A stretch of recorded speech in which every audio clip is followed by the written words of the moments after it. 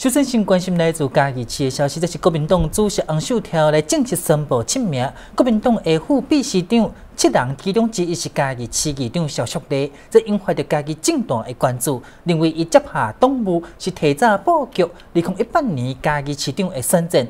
肖淑丽六号接受媒体访问强调，家己目前只想要扮演着议长的角色，好好监督市政，而且市长人选。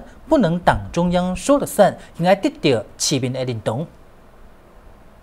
江义市议长肖淑丽一向拢被认为是地方派系小加班的掌门人。这一届国民党主席选举，伊公开力挺红秀条，在选后红秀条所公布第一批的党务干部，嘛正式来接任的副秘书长的职务。洪秀柱主席他在宣布参选当主席的时候，我曾经跟他深谈过，那么也听过他对于。党未来的改革的一些理念，我也非常的认同。所以呢，这次他胜选了以后，我决定来协助他以无己职的身份来担任这个职务。那么希望，呃，这个国家还是要有一股制衡跟监督的力量。我们希望现在国民党沦为在野，就要扮演这一股这个监督的力量。所以我也愿意来支持他，协助他，让国民党在地方继续生根。新官上任，洪秀条公布第一批的人数，我个认为是为着布局下一届的县市长选举。被问到是不是会来选嘉义市长，小小的强调，伊现阶段只想要将市长的角色判演好好。我到目前为止，我个人的想法就是当下我把议长这个职位做好。毕竟地方政府还是需要有一个监督的力量，我们希望市政能够更进步。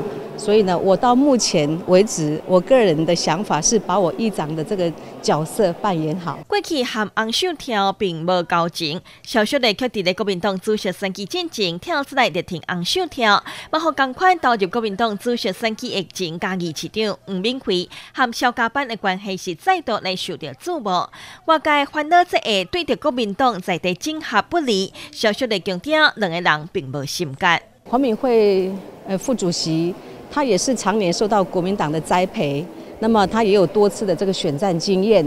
那么他在参选主席的时候，他也提到过，他要当汤科，把大家团结在一起。所以我想，他一样有这样的想法跟理念，他也应该会希望国民党要团结，那么才有力量。那么团结以后，才有机会在将来再次赢得胜选。所以我们没有什么心结，同志之间，我过去跟他是国民大会的同事，所以我们都是热爱这个国民党，希望党能更好，所以没有所谓的什么心结或者不能化解的。我相信以黄敏惠副主席他的气度，他的雅量。他一定也希望能够国民党更好。消息的强调，选举结果并无本土和非本土派的路线之争。洪秀条对着副秘书长有功能性和地区性的考量，副秘书长有独特的责任区，以做一个无己职的副秘书长协助主席洪秀条亲近地方。上届主要是希望和国民党有机会一当再度重返执政。最新新闻中国民洪秀三加二七彩虹报道。